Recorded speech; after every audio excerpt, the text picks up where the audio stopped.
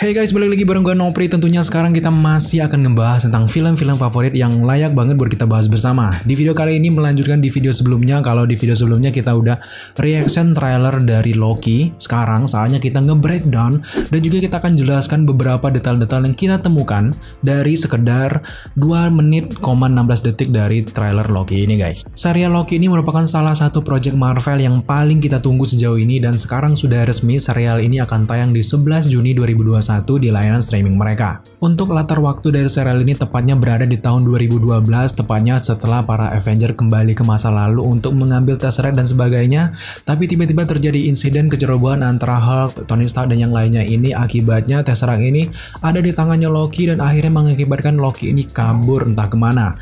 Dan untuk mengetahui ke mana saja Loki ini kabur, di sinilah di series Loki inilah kita akan mengetahuinya lebih jauh lagi guys. Secara keseluruhan memang titik masalah dari series Loki ini akibat kecerobohan para Avenger ini yang lupa untuk membereskan permasalahan kaburnya Loki ini yang akibatnya membuat realitas alternatif ini bercabang sampai belasan cabang dan masalah bercabangnya realitas ini harus dituntaskan oleh TVA dan juga Loki itu sendiri.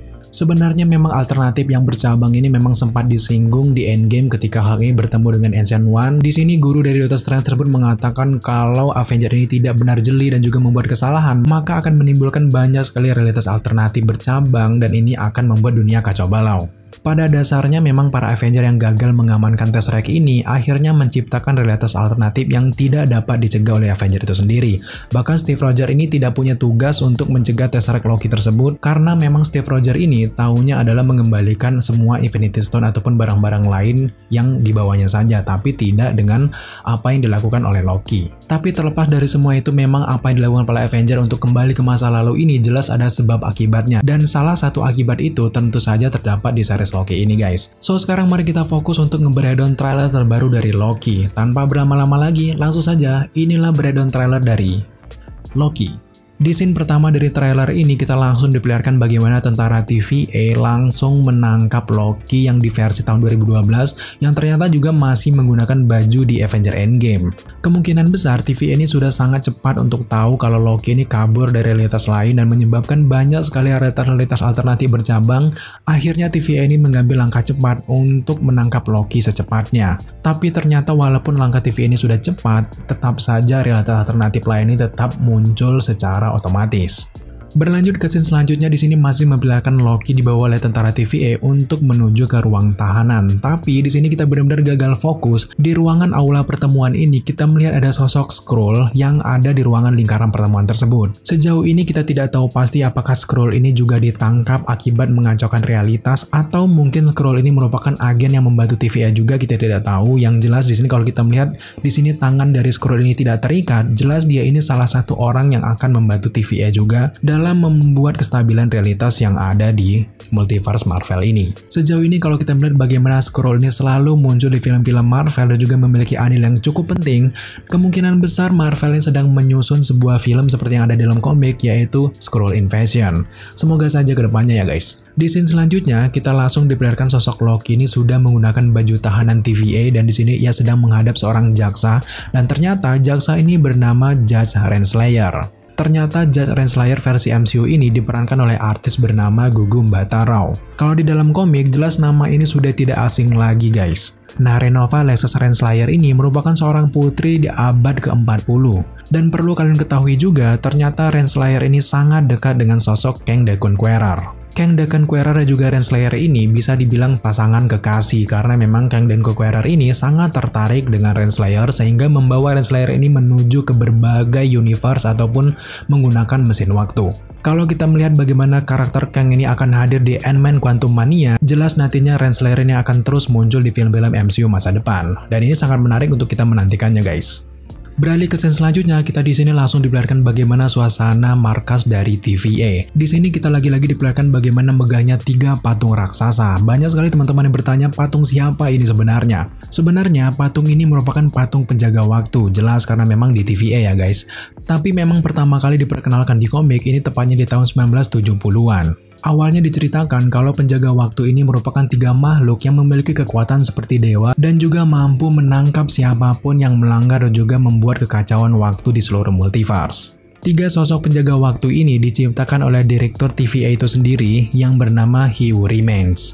Maksud dari penciptaan tiga sosok ini gunanya untuk memantau seluruh aktivitas waktu multiverse 24 jam tanpa henti. Selanjutnya kita beralih ke adegan Morbius yang sedang mengintegrasi sosok Loki. Kalau kalian semuanya belum terlalu mengenal sosok Morbius M. Morbius ini, kalau di komik, ia ini merupakan manajer dari TVA. Tidak tahu kalau di MCU, jelas kalau di MCU, dia ini masih merupakan pegawai TVA yang sangat sibuk, terutama untuk menertibkan realitas-realitas alternatif yang tidak sewajarnya ada. Karakter Morbius ini sendiri terkenal di komik setelah berani meminta pertanggungjawaban Fantastic Four setelah Fantastic Four ini secara tidak sengaja melakukan kejahatan terkait dengan waktu yang dapat mengubah kontinuitas dari waktu itu sendiri. Dan kalau kita melihat bagaimana adegan mereka ini cukup dekat, memang di sini kita jelas melihat Morbius ini sedang merekrut Loki untuk memberatas Loki lainnya yang ada di 14 cabang dari realitas ini guys. Selanjutnya kita beralih ke adegan di mana Loki, Mobius, dan juga prajurit TVA sedang menuju ke realitas alternatif lain yang tercipta akibat ulah Loki. Dari adegan ini kita langsung mengetahui ternyata Loki di sini disebut dengan varian. Artinya kalau Loki ini disebut dengan varian, jelas variannya lebih dari satu, artinya akan ada Loki-Loki lainnya yang harus diberantas di dalam series ini nantinya. Setelah kita hitung-hitung kemarin, kurang lebih ada 14 realitas alternatif yang tercipta akibat kabelnya Loki di Avenger Endgame yang lalu. Dan di sini kita mengetahui ternyata TVA ini memilih satu varian untuk melawan varian yang lainnya. Artinya di sini jelas Loki akan melawan Loki yang lainnya. Dan ini sangat menarik untuk menantikannya di seriesnya nanti guys. Sebelum kalian menyaksikan series dari Loki ini, perlu kalian ketahui dulu dan juga kalian tanamkan di benak kalian, Loki yang ada di series ini bukanlah Loki versi sekarang, artinya versi yang mati melawan Thanos. Jelas kalau Loki yang versi sekarang sudah mati di tangan Thanos dan juga ia sudah dewasa dan juga menjadi lebih baik dan membantu saudaranya yaitu Thor dalam memberantas kejahatan. Di sini ia lebih dewasa dan juga menjadi lebih baik pada intinya. Nah untuk Loki yang ada di series ini merupakan Loki yang tumbuh di tahun 2012 yang masih labil dan masih jahat sejahat-jahatnya. Di sini kalian benar-benar diservis untuk memperlihatkan sosok-sosok jahat dari seorang Loki yang sebenarnya yang selama ini benar-benar tidak mendapatkan fokus yang lebih banyak lagi di film-film MCU. Nah, tugas TVA dan juga Loki jelas untuk masuk ke setiap cabang realitas untuk menghadapi Loki lainnya. Di adegan selanjutnya, tepat di adegan Loki yang memasuki realitas lain ini, kita juga melihat easter egg Roxanne Corporation. Di dalam komik, Roxanne ini merupakan perusahaan energi yang jahat dan juga curang guys.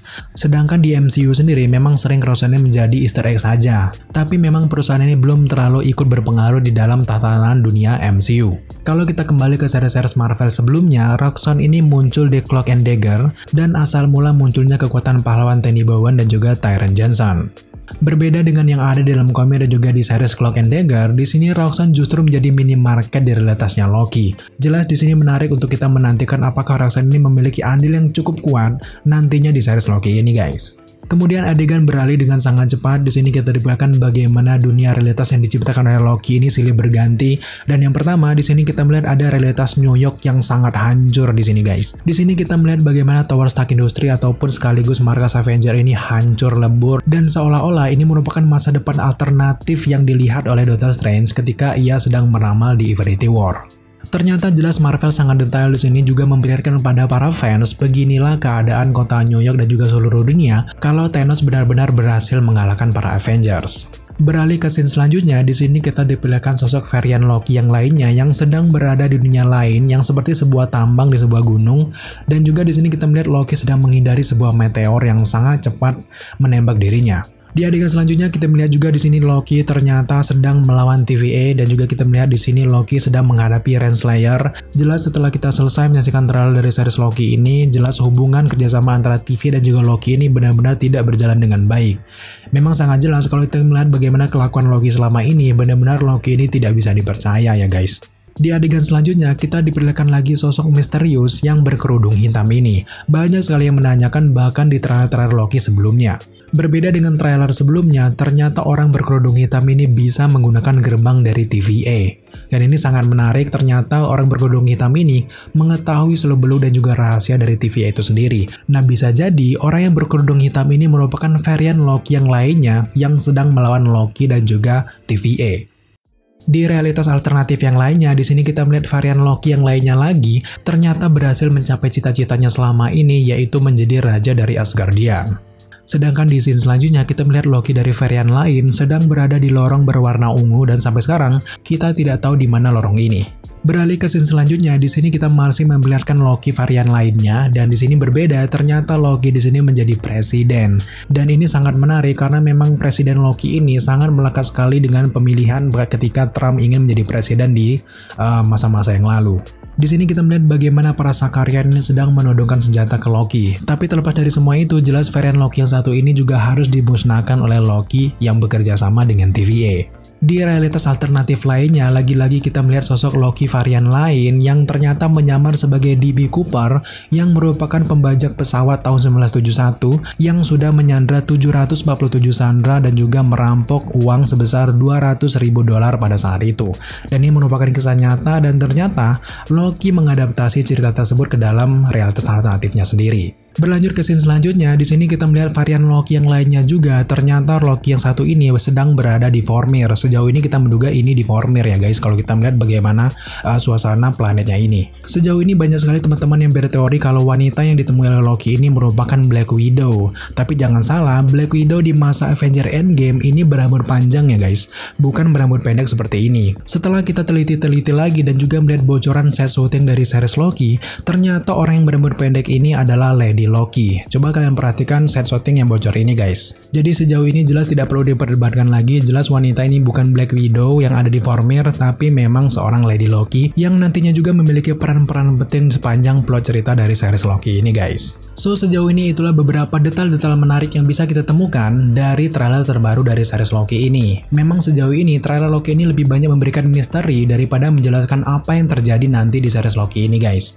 Tapi terlepas dari semua itu kita benar-benar tidak sabar untuk menantikan aksi dari Loki ini justru Loki melawan Loki, orang licik melawan orang licik, bagaimana jadinya? Dan ini benar-benar merupakan salah satu series favorit dari Screen dan juga sangat kita nantikan nantinya di 11 Juni 2021. Terima kasih kalian sudah menyaksikan video kali ini. Jika kalian suka dengan konten-konten seperti ini, jangan lupa dukung kita dengan cara subscribe, like, comment, dan share. Serta jangan lupa juga untuk nyalakan notifikasi agar kalian mengetahui apabila The Screen mengupload video setiap harinya. Thank you guys.